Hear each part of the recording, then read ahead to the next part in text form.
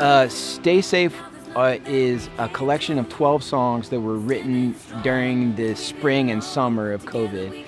And they were written with over 100 kids all over the city of Columbus. Uh, now we need power. Now we need power. You know how this game go.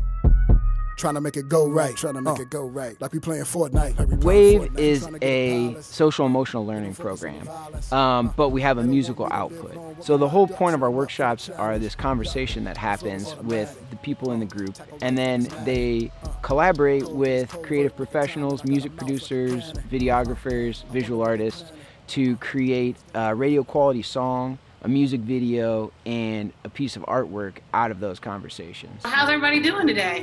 A big part of our workshops was um, the kids would go to a recording studio and get to see their song recorded by the musicians and to get to really like hands-on produce the song in the studio. We tried a Zoom workshop where we had three students and it went really well. So we were like, okay, this is this is possible. We can have like recording sessions where the producer and the musicians are each in their home studios and they're zooming with the kids and it still feels like a you know authentic uh, learning experience what would you tell someone who is feeling down to help them feel better we'll start off by talking about what kind of music we like and that's kind of the the common ground and then we'll move into a conversation about a theme what do we want our song to be about? We've got so much. We've got cops, we've got COVID 19, we've got Black Lives Matter, we've got bullying, we've got change, we've got authority. And I feel like that's too much to put all of that in the song. I feel like we should narrow it down. The producers, especially uh, Kashis Keyz, just did an amazing job of kind of like helping them think through that and process uh, what they were feeling and turned it into just some really powerful songs.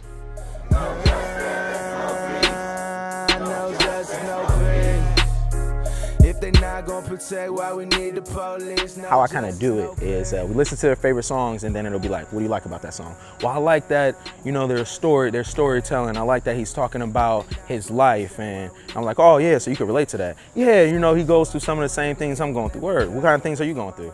And then before you know it, they're spilling out their whole soul. They don't even realize what's going on, but we are now in therapy. and it's like, it's beautiful. It's beautiful at that point because it just becomes them, right? Like it's it's hard to get a raw voice from a child, if that makes sense. So it's beautiful when you can get them to actually speak on it. And it just takes bringing their walls down. And the easiest way to do that is with music. It doesn't matter how old you are. This this moment has done the same thing to everyone, and those aren't just the questions that adults are wondering. Kids are having those same questions and they're trying to process them in the same way. So um, I, I thought there was just a lot of wisdom in the songs that, that is really worth listening to. Facing my problems will run away. Brown skin girl, I hope you know your beauty and that you love truly.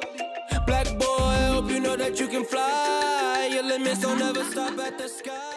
I'm 14 and I go to Wedgewood Middle School. Um, this um, quarantine, we did We Are Warriors. We are warriors. Can you see, can you believe everything we're up against? The weight we bear, armor we wear in our own defense. Some of the ideas were to make it evolved around what's going on in the community and about how people treat us kids. They underestimate us. So I wanted to put some of those ideas into the song. And so we had the lyrics and we made a beat and it was like that. I thought some of these songs just were really profound and the things that the kids had to say. The interesting thing, and I think one of the biggest takeaways, is the fact that they are way more intelligent than we think. They're seeing the protests. They're seeing the racism. They're seeing unarmed black people getting killed every day. And they're internalizing this information. So Stay Safe is a peek into that. And hopefully with the continuation of this emotional releasing process, we can further the next generation. Put out the fire.